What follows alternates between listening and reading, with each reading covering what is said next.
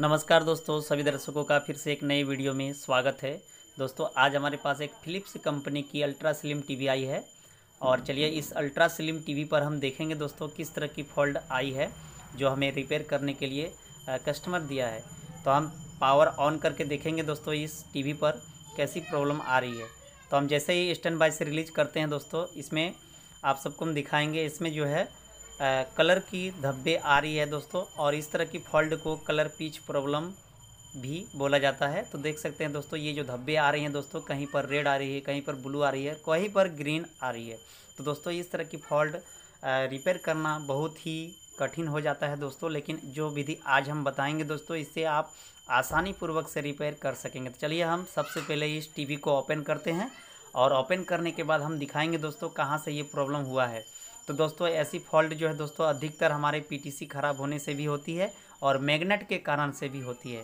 तो चलिए हम ओपन करके देखते हैं सबसे पहले।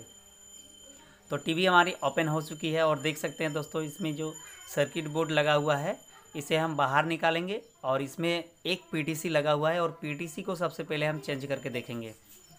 अगर पीटीसी हमारे ख़राब है दोस्तों तो पीटीसी को जैसे हम चेंज करेंगे दोस्तों, ये प्रॉब्लम हमारी सॉल्व हो जाएगी। तो चलिए हम करके देखते हैं दोस्तों लाइव प्रूफ के साथ। इससे पहले छोटी सी रिक्वेस्ट है, वीडियो को अंत तक देखिए। वीडियो अच्छी लगे तो चैनल को सब्सक्राइब और वीडियो को लाइक करना ना भूलेंगे दोस्तों।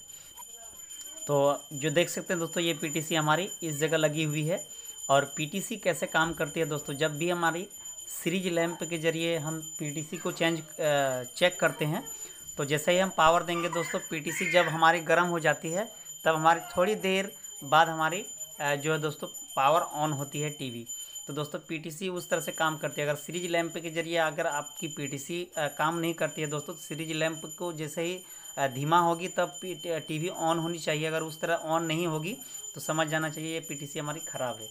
तो इस तरह से हम जो पीटीसी है, इस पीटीसी को हम बाहर निकालेंगे और बाहर निकालने के बाद इसको हम एक्सचेंज करके देखेंगे दोस्तों, अगर ये सॉल्व होती है तो ठीक है, और नहीं तो दोस्तों हम दूसरा भी विधि बताएँगे दोस्तों, अगर पीटीसी को चेक चेक किया जा जा सकता है बहुत ही आसान से, अगर आपके पास मल्टीमीटर नहीं है तो इसे हिला कर भी चेक कर, किया जा सकता है। अगर पीटीसी को हिलाएँगे दोस्तों तो झंझनाहट सी आवाज़ आएगी।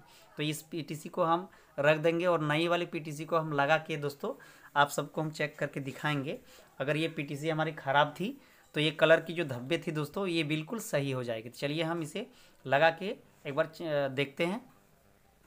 तो इसे हम सर्किट पर हम लगा चुके हैं। अब इसे अच्छी तरह से हम सॉल्व कर देंगे और फिर से हम दोबारा पावर देंगे इस टीवी पर और देखेंगे दोस्तों, ये फॉल्ट जो जो धब्बे आ रही थी दोस्तों, रेड कलर की धब्बे, वो हमारी सॉल्व होती है या नहीं? तो दोस्तों, कलर पिक्च की प्रॉब्लम दोस्तों, ये अधिकतर हमारी ये पीटीसी ख़राब होने से ही होती है। तो चलिए हम इसे सॉल्व कर लेते हैं और एक बार हम पावर दे करके देखते हैं। तो ये पीटीसी लग चुकी है। तो अब सर्किट बोर्ड को हम फिर से दोबारा सेट कर देना है अच्छी तरह से। तो यहाँ जो वायर हम खोले हैं दोस्तों पा, पावर बटन की और सेंसर की सारी सभी वायर को हम लगा देंगे और ये वीडियो कॉड के लिए है। यहाँ हम इस जैक को भी लगा चुके हैं। सभी जैक हमारी लग चुकी है। अब चलिए हम इस टीवी को जो है बोर्ड फिर से जिस तरह से सेट किया हुआ था, उसी तरह से हम फिटिंग कर देंगे इससे और फिर से हम दोबारा पावर दे करके देखेंगे।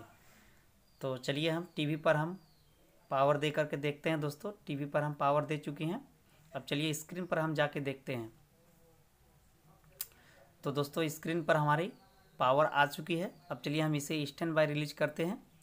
तो स्टैंड बाय रिलीज़ करके हम देखते हैं इसमें तो तो देख सकते हैं दोस्तों, जैसे ही हम स्टैंड बाय से रिलीज़ किए इसे, और टीवी हमारी बिल्कुल सही हो चुका है, और थोड़ा सा एक धब्बा बचा हुआ दोस्तों, इसे आप मैग्नेट के ज़रिए भी सॉल्व कर सकते हैं, और नहीं तो दोस्तों टीवी को दोबारा फिर से आप पावर ऑफ़ ऑन करेंगे तो ये भी फॉल्ट सही हो सकता है। चलिए हम एक बार फिर से हम दोबारा पावर ऑफ़ करते हैं, और इसे ऑन करके देखते हैं। तो दोस्तों, ये पावर ऑफ़ कर चुके हैं, अब फिर से हम दोबारा स्टैंड बाय रिलीज़ करके देखते हैं दोस्तों। ऐसी प्रॉब्लम जो है दोस्तों, कई बार हम देखें दोस्तों, अपने आप सॉल्व हो जाता है। तो पीटीसी को चेंज करने से अपने सॉल्व हो जाता है। देख सकते हैं दोस्तों, ये सही हो चुका है। तो दोस्तों, छोटी सी इन्फॉर्मेशन था, लेकिन वीडियो कैसी लगी दोस्तों कमेंट पर कमेंट करना ना भूलेंगे दोस्तों। और वीडियो अच्छी लगी हो तो वीडियो को लाइक कर दीजिएगा। चैनल पर नहीं है तो चैनल को सब्सक्राइब कर दीजिएगा। और ऐसे ही कंटेंट वाले वीडियो रोज़ देखना चाहते हैं तो नोटिफिकेशन घंटी ऑल पर सेट कर लीजिएगा। मिलते हैं नेक्स्ट वीडियो में। Thank you for watching video